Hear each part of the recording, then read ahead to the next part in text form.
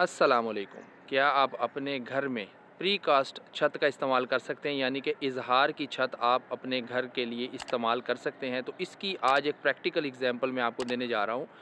ये दो यूनिट्स हैं जो हमने अपनी पर्सनल रेजिडेंस के लिए बनाए हैं। एक यूनिट का जो साइज़ है वो डेढ़ कनाल है। तकरीबन इकतीस मरले ये जगह बनती है एक घर की। और इसमें जो कंस्ट्रक्टेड एरिया है, वो तकरीबन सोलह सतारह मरले है, जो कि हाफ़ फिफ्टी परसेंट से ज़्यादा है डेढ़ कनाल में से। और इसमें आप देख सकते हैं, ये साइडों पर आपको ब्लैक कलर में ये निकले हुए गार्डर नज़र आ रहे होंगे। ये तमाम की तमाम जो फ़र्स्ट फ्लोर और सेकंड फ्लोर, दोनों की जो छत है, वो इजहार की छत, यानी प्री कास्ट छत यूज़ की गई है। और ये बेहतरीन रूफिंग है एज़ लॉन्ग एज़ कुछ मयरमेंट्स हैं जिनको आपको फॉलो करना पड़ेगा, अपने जो आपका आर्किटेक्ट है उससे आप मशवरा करके इस चीज़ को बनाएँ, लेकिन ये आप घर के लिए इस्तेमाल कर सकते हैं। इसका अंदर का व्यू भी मैं आपको दूँगा।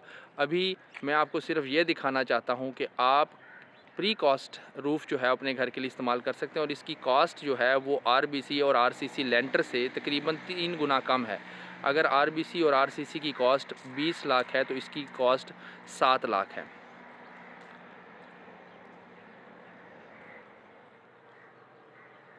ये इस घर की फ्रंट लुक है, आप देख सकते हैं। इकहत्तर फुट इसका फ्रंट है और 120 फुट ये पीछे की तरफ़ है। इकहत्तर ज़रबे 120 का ये प्लॉट है और ऊपर जो आप कमरा बना हुआ देख रहे हैं फ्रंट पे, ये जो है ये स्टोर रूम है और इसके अंदर काफ़ी सारा सामान पड़ा है, वो भी मैं आपको इंशाल्लाह नेक्स्ट एपिसोड में दिखाऊँगा। और इस कमरे का साइज़ 20 ज़रबे 22 है। यानी बीस बाईस का कमरा है, जो कि बहुत बड़ा कमरा है और इसके ऊपर भी इजहार की छत है। इसके नीचे जो कमरा है, उसमें भी इजहार की छत है। तो इजहार की जो छत है, यानी कि प्री कॉस्ट रूफिंग जो है, वो कैरी कर सकती है रिजनेबल वेट अगर उसको प्रॉपरली एडवाइस लेकर बनाया जाए इजहार वालों से या अपने आर्किटेक्ट से। तो आप उसका बेहतरीन इस्तेमाल कर सकते हैं और इसके बहुत सारे बेनिफिट्स हैं।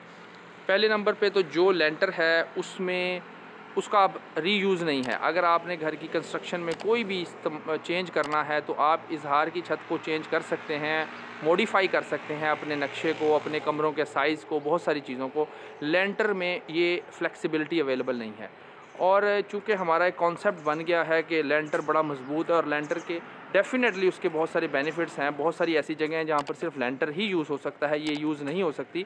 लेकिन लेकिन एक नॉर्मल रेजिडेंशियल हाउस में अगर आपकी कॉस्ट दस से पंद्रह परसेंट या बीस परसेंट तक सिर्फ़ छत की वो कंस्ट्रक्टेड कंस्ट्रक्शन को चेंज करने से कम हो सकती है तो वाई नॉट और उसकी लेटर ऑन फ़ायदे भी हैं। जैसे कि मैंने बताया कि लेंटर पंद्रह से बीस साल बाद जब आप घर बदलते हैं, चेंज करते हैं, बेचते हैं या गिराते हैं, वो एरिया कमर्शियल हो जाता है तो वो लेंटर बेकार है, बल्कि उसके तोड़ने के भी पैसे देने पड़ते हैं। लेकिन ये छत जो है, ये हमेशा आपके काम आएगी, बल्कि आज जो चीज़ आप सौ रुपये की ले रहे हैं, ये छत आप आज से दस, पंद्रह, बीस साल बाद जिस तरह महँगाई बढ़ रही है, हो सकता है दो या तीन सौ रुपये की आप बेचें।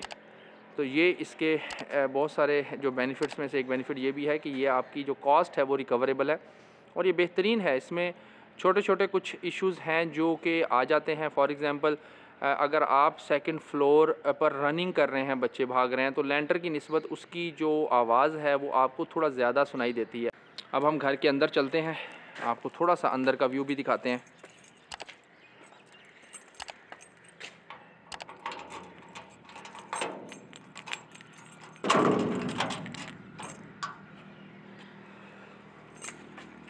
ये अब आप घर के अंदर आ गए हैं जी। ये इसका लॉन है। फ्रंट से आप देख सकते हैं। कोई भी देख कर नहीं बता सकता कि यहाँ पर प्री कास्ट जो है वो छत यूज़ हुई है। थोड़ा सा मैं व्यू दिखा दूँ आपको गिराज का। इसके ऊपर भी प्री कास्ट है और ये आप देख सकते हैं काफ़ी बड़ा गिराज है। छोटा गिराज नहीं है। और आप देख सकते हैं एक्चुअली चूँकि अब ट्रेंड ये है कि हम सब लोग फॉर सीलिंग यूज़ करते हैं। फॉर सीलिंग के ऊपर जो भी छत आप यूज़ करें, चाहे वो प्री कास्ट हो लेंटर हो, वो छुप जाता है। बस ये एक मैं ये कहूँगा कि एक स्टेटस सिंबल बन गया है कि आपने लेंटर यूज़ करना है, आपने प्री कास्ट यूज़ नहीं करनी। और सेकेंडली लोग कुछ वरिड भी होते हैं कंसर्न होते हैं कि कितनी मज़बूत है या इसमें कोई ख़तरा।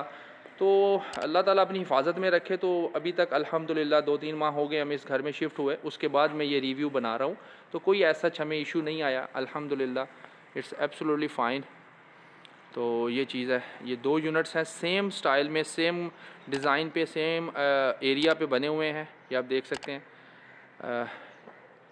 इन अंदर का व्यू और स्टोर कितना बड़ा है, उसमें कितना सामान पड़ा है, ये मैं आपको इन नेक्स्ट एपिसोड में दिखाऊँगा।